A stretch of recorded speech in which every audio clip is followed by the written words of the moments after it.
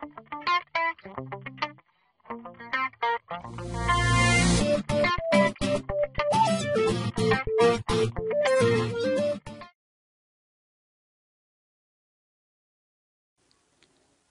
Revit, there are numerous ways to create openings in a roof.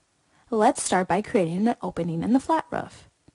I'll select the roof and then choose Edit Footprint on the Modify Roofs contextual ribbon. When I do, Revit goes into sketch mode. I'll switch to the roof plan view to better see the roof boundary. To add an opening by sketching, I'll select Rectangle from the Draw Gallery in the Draw panel and make sure Define Slope is not selected in the Options bar. Moving into the drawing area, I'll sketch a rectangle approximately 12 feet by 12 feet, or 4,000 millimeters by 4,000 millimeters in the metric file. The exact size and location is not critical at this point. Just make sure the rectangle is inside the existing boundary in order to create an opening.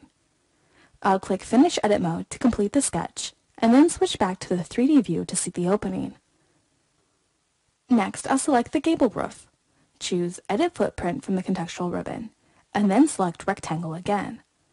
Once again, I'll sketch a rectangle inside the existing boundary, and then click Finish Edit Mode. However, this time, there is not an opening in the roof. To place openings in pitched surfaces, such as sloped roofs, you must use tools specifically for creating openings. I'll switch to the roof plan view. On the structure ribbon, in the opening panel, select by face. This activates the opening by face tool, and the first step is to select a face. I can select any of the faces of the sloped roof. I can even select the flat roof we've already created an opening in. I'll select the upper face of the gabled roof. When I do, Revit goes into sketch mode. On the draw panel, I'll select rectangle. I'll sketch a rectangle approximately 12 feet by 12 feet, or 4,000 millimeters by 4,000 millimeters in the metric file, on the selected face. Then I'll click Finish Edit Mode. This time, an opening is created.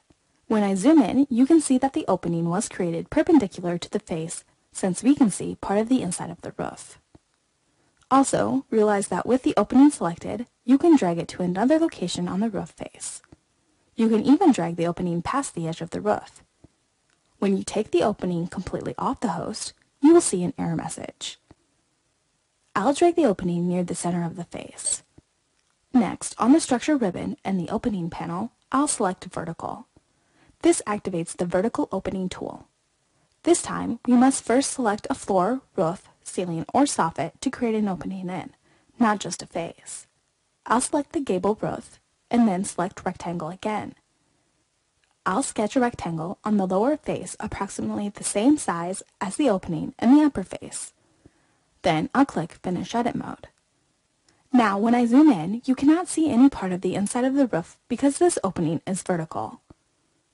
I'll zoom out and then create a section view so we can take a look at the differences between the two openings. On the Quick Access toolbar, click Section. Draw a section line vertically through the two openings. Then, right-click and select Go to View. Here you can see that the opening on the right is indeed perpendicular to the roof and that the opening on the left is vertical.